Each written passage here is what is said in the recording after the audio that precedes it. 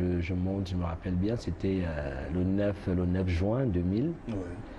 Et on avait... euh, En, plein, en pleine période du bac. Quoi. euh, oui, je, je ne peux pas passer le baccalauréat. Oui. J'arrive, en fait, on arrive à Paris. Le 10 juin, on a le spectacle, en fait, on a spectacle le même jour, la soirée à Saint-Denis. On finit à Saint-Denis, après c'était Lyon, on a été à Lyon, et euh, après Lyon, on a été à Strasbourg.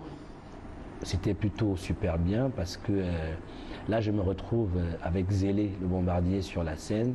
On fait ce qu'on a souvent fait quand on est au Cameroun, et en même temps, je viens me produire euh, en tant que représentant de, de Femme Diengue parce que c'est Nkulnam qui organise la tournée parce qu'il est fan de Femme Diengue. Il rentre dans la production parce qu'il aime ce que fait Femme Diengue. Donc euh, on passe un mois, un mois et demi, voire deux mois par là. Et c'est là que je reviens au Cameroun.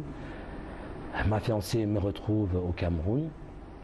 On se marie, j'attends huit mois pour la transcription au niveau de l'ambassade de France à Yaoundé et j'obtiens mon visa en tant que conjoint de français et c'est ainsi que je m'installe à Toulouse. Toulouse. La vie rose, comment on Oui, dit. Donc votre euh, premier album, ils sont en 2000, c'est ça? Oui, octobre 2000, oui. Octobre 2000.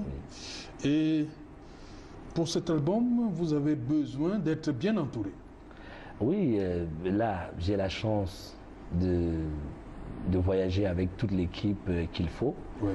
Euh, sur- à Paris, il y avait aussi Tonton Ebogo qui était là, qui a intervenu dans cet album.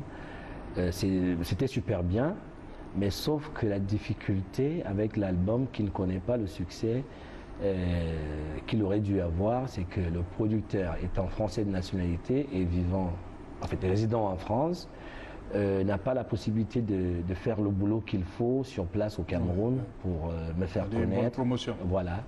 Donc, ceux-mêmes qui ont pu écouter ces chansons-là ont cru que c'était les œuvres de Feu Femme Diengue parce que je suis vraiment dans sa peau. J'ai fait au micron près tout ce qu'il faisait et tout. Même le rire, même. euh, en fait, je suis la photocopie, quoi.